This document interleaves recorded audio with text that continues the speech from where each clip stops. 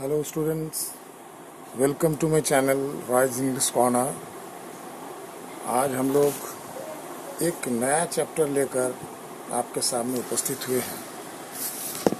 इसमें ग्रामर से आज हम लोग टेंस पढ़ने वाले हैं। टेंस को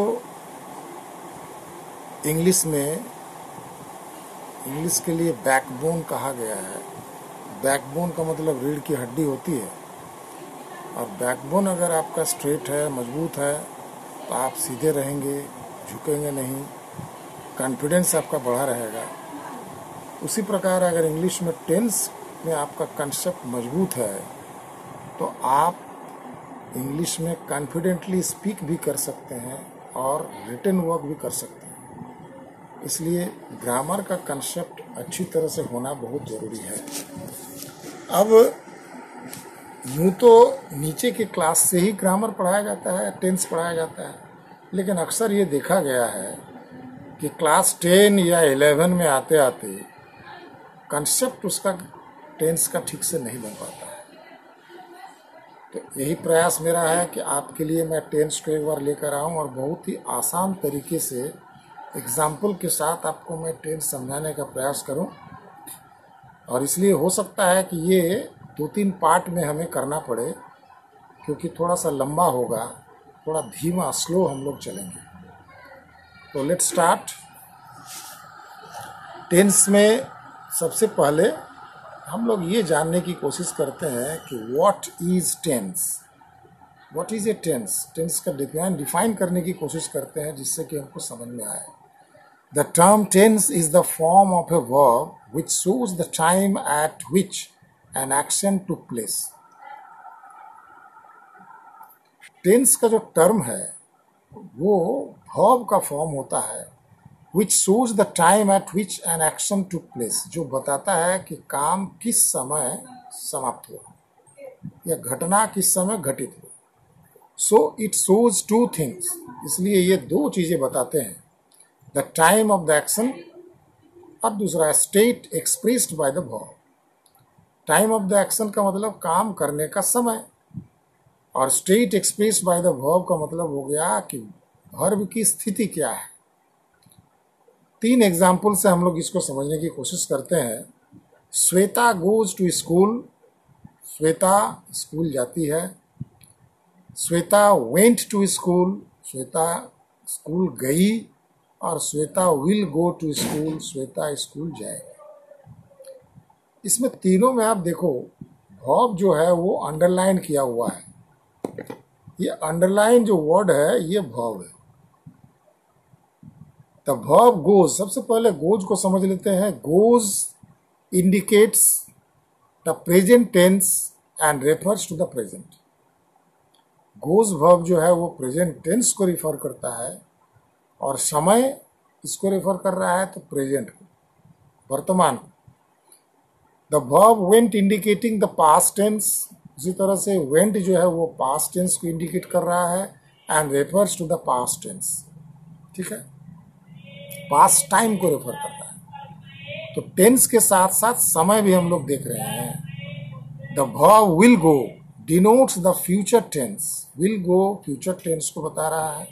And refers to the future time और फ्यूचर टाइम को बता रहे तो आप दो चीज़ नोट कर रहे हो, एक टेंस और दूसरा जो है टाइम तो नेक्स्ट स्लाइड में हम लोग ये देखने की कोशिश करते हैं कि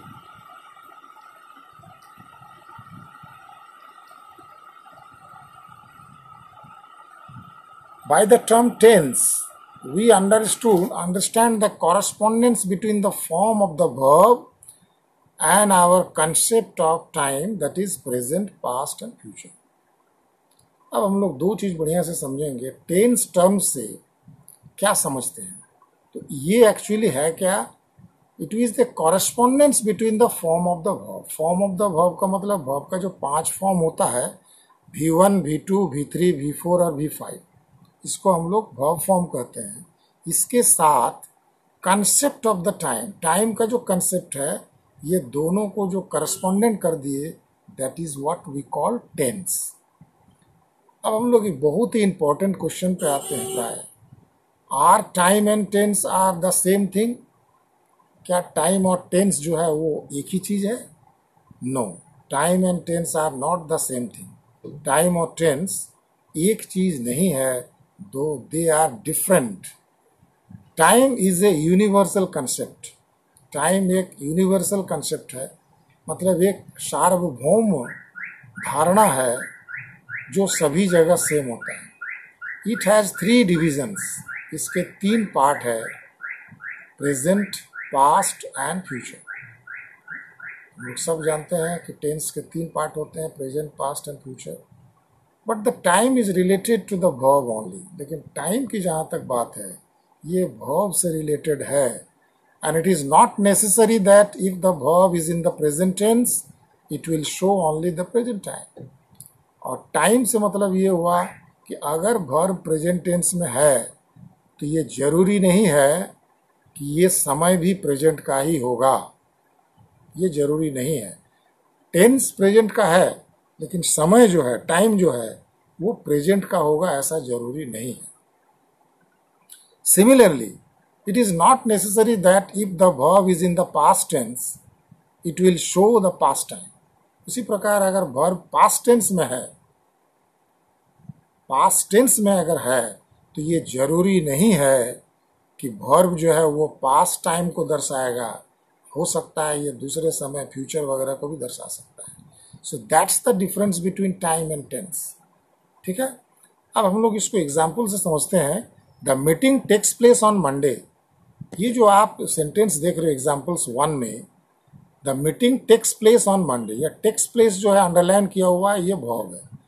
अब इस भाव से आप पहचान रहे हो वी वन फॉर्म से कि ये प्रेजेंट टेंस में लेकिन इसका ओवरऑल मीनिंग जो निकलता है, वो प्रेजेंट टाइम का नहीं होता है।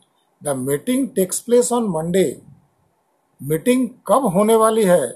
तो मंडे को होने वाली है। अरे this Monday refers to the future time ये मंडे फ्यूचर टाइम को रेफर कर रहा है।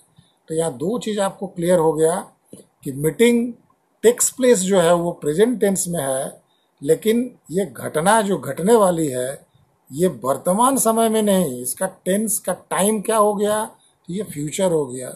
और फ्यूचर कहाँ से रेफर हो रहा है? मंडे से। ठीक है? तो here future time is Monday next example में हम लोग आते हैं।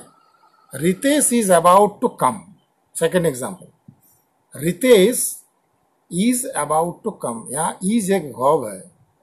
इज़ से मतलब है कि आप पता चल गया आपको कि ये प्रेजेंट टेंस में लेकिन अबाउट टू कम जो एक्सप्रेशन है, ये एक्सप्रेशन फ्यूचर का रेफरेंस दे रहा है।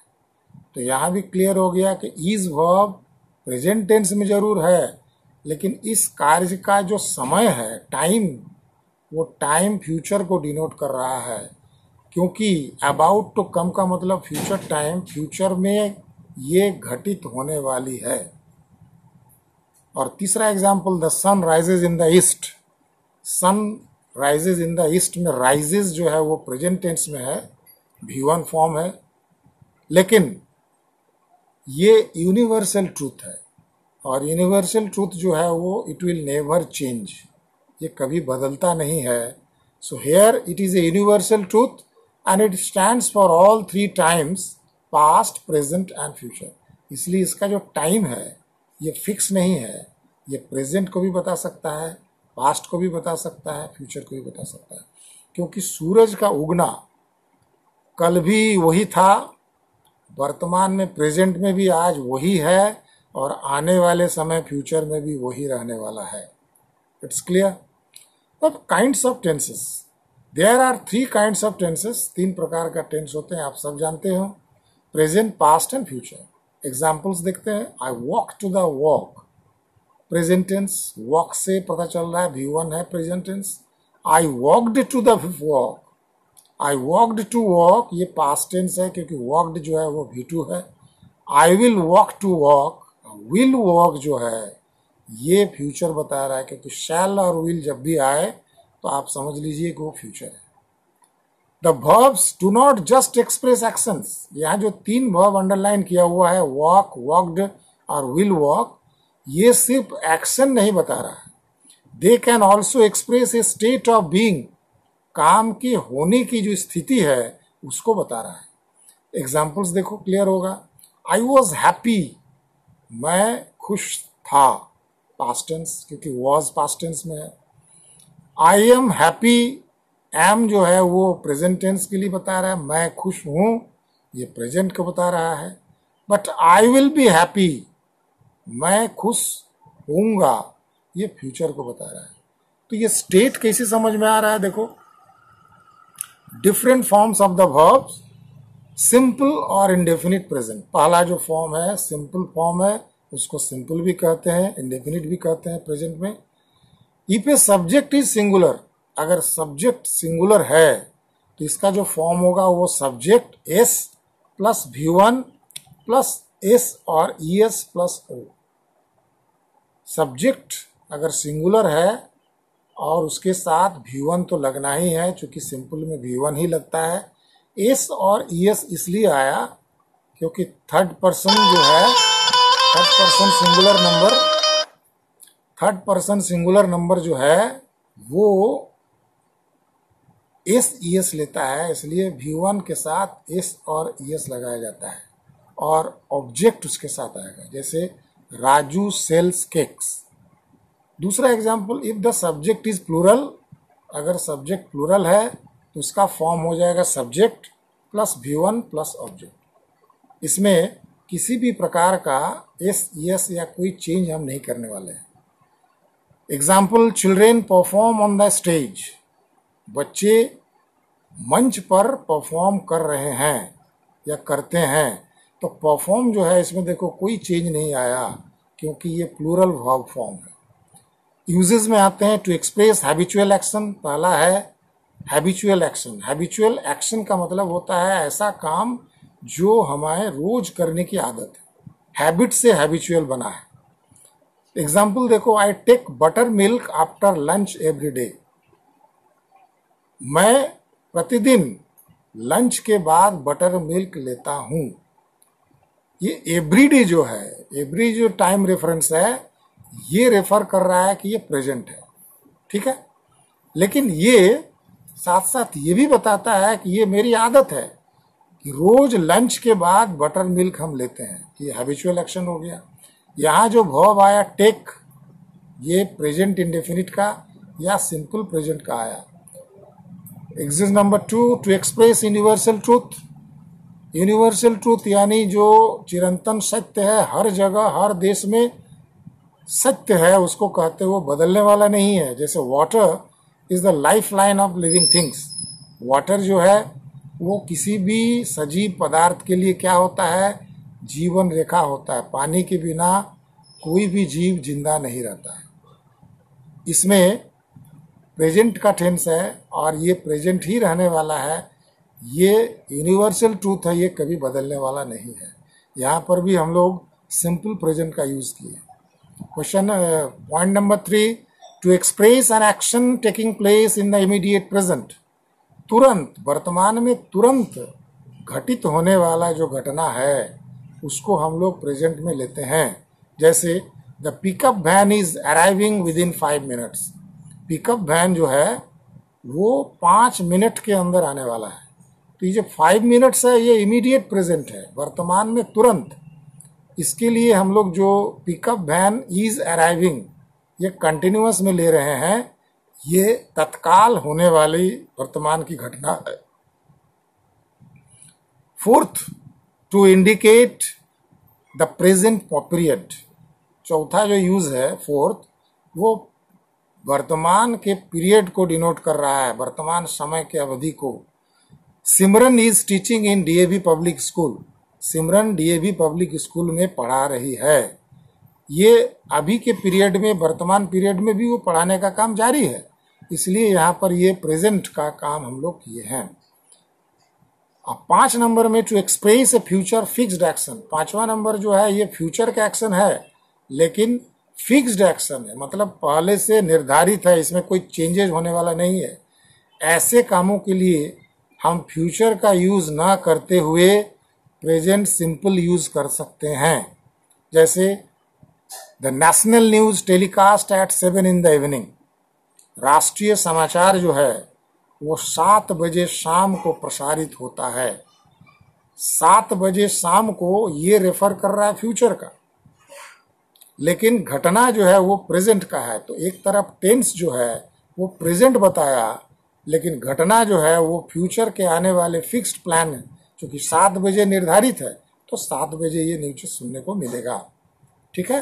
तो ये था प्रेजेंट सिंपल प्रेजेंट का यूजेस अब हम लोग आते हैं present continuous the present continuous is mainly use to express the idea that something is happening at the moment of speaking present continuous tense जो है, ये एक विचार देता है, एक धारणा देती है एक्सप्रेस करता है कि कुछ घटना जिस समय वक्ता बात को कह रहे हैं, जैसे अभी आपको हम कह रहे हैं तो अभी जो घटना हो रही है, वो उसी समय हो रही है जिस समय at the time of speaking उसी समय वो घटना भी घट रही है. The present continuous also describes activities generally in progress present continuous actually उस तरह की घटनाओं को बताता है जो अभी जारी है. इन प्रोग्रेस का मतलब जारी है. So if subject is singular अगर सब्जेक्ट सिंगुलर है तो उसका फॉर्म को आप ध्यान रखो। Subject plus am is are plus V one plus I N G V one के साथ यहाँ आई एन जी लगेगा, जिसको हम लोग वी फोर कहते हैं, और साथ में ऑब्जेक्ट लगेगा। जैसे he is drinking milk he के साथ इज़ लगा ड्रिंक के साथ आई एन जी लगा के ड्रिंकिंग कर दिए। If the subject is plural अगर सब्जेक्ट प्लूरल है उसका जो फॉर्म हो जाएगा वो सब्जेक्ट के साथ इज़ एम को हटा देंगे आर लग जाएगा। V one plus I N G plus object example children are drinking milk children यहाँ प्लूरल हो गया तो भॉब जो है वो भी प्लूरल हो गया आर सिंगुलर सब्जेक्ट के साथ सिंगुलर भॉब प्लूरल सब्जेक्ट के साथ प्लूरल भॉब इसका यूजेज में आते हैं। First uses for an action is going at the time of speaking जिस समय आप बात को कह रहे हैं, या वक्ता जिस समय कह रहे हैं, ठीक उसी समय घटना भी क्या हो रही है, घट रही है, जारी है। My father is watching a movie जब ऐसा हम कहते हैं कि मेरे पिताजी एक मूवी देख रहे हैं तो जिस समय हम कह रहे हैं ना, उसी समय पिताजी मूवी देख भी रहे हैं। तो ये हो गया at the time of speaking to walk about activities happening in the near future specially for planned future action दूसरा एग्ज़ाम्पल दूसरा यूजेस क्या है?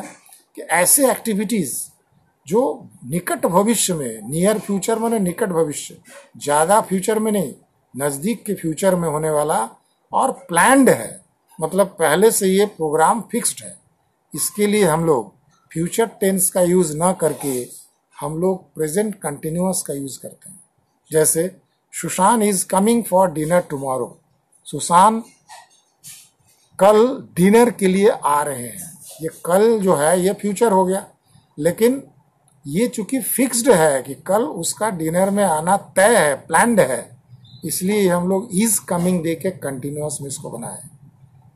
Uses number three with always forever constantly to describe the emphasis a series of repeated action to express annoyance तीसरा है कि always forever या constantly जैसे word कभी कभी सेंटेंस में आते हैं और ये डिस्क्राइब करते हैं इम्फेसाइज करते हैं a series of repeated actions ऐसे काम जो बार बार रिपीट होता है और इस रिपीट होने के कारण आपके मन में किसी ना किसी प्रकार का एक नाराज़गी होती है एनोइंस इसको हम लोग व्यक्त करते हैं प्रेजेंट कंटिन्यूस टेंस से। जैसे एक example you are always interrupting me when I am talking मैं जब भी बोलता हूँ आप हमेशा मुझे टोकते रहते हैं।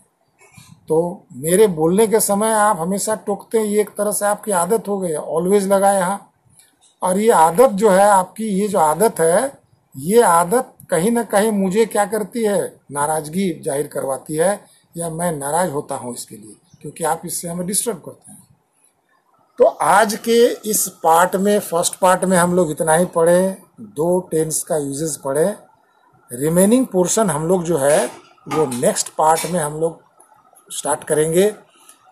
इसके पहले कि हम आज इस क्लास को ओवर करें, आपसे एक रिक्वेस्ट है कि आप पूरे वीडियो को बिना स्किप किए देखिए, समझिए, पसंद आए तो लाइक बटन को दबाइए, अपने दोस्तों में, अपने फ्रेंड सर्कल में इसको शेयर कर दीजिए।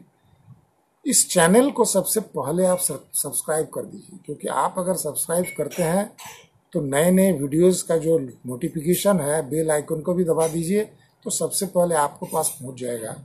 और आप डिस्क्रिप्शन में हमारे पुराने वीडियोस के लिंक दिए हुए हैं। उस लिंक को विज़िट करें।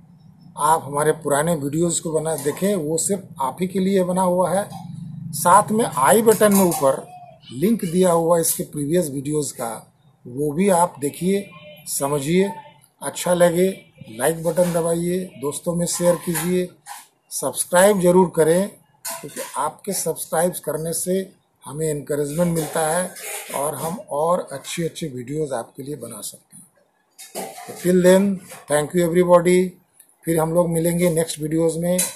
तब तक bye bye have a nice day